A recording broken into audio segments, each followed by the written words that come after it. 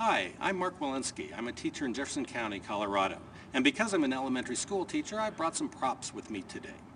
When I was in fifth grade, and since fifth grade, I've collected coins. And I always wondered whenever I got a new old coin on whose pocket it might have been, and had that person in any way influenced my life today. Well, this is what I try to teach my students in my classroom, are the people of our past who continue to influence today, to nurture a sense of democracy within them. I found what I thought was a good answer to, to teaching them in a, in a pamphlet called Common Sense, written in 1776 by Thomas Paine. Here was a pamphlet that spoke to the colonists about the dreams and aspirations of becoming Americans. I knew that my students needed to read this. So, but old documents are hard to read without a lot of help, without being taught how to do so.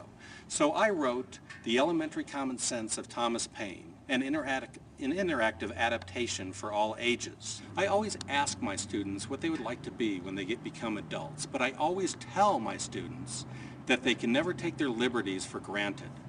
When my son was born, I looked into his eyes and I immediately thought, how could I bridge the values and the tenets of our democracy from the very beginning to our future, just as our founders did?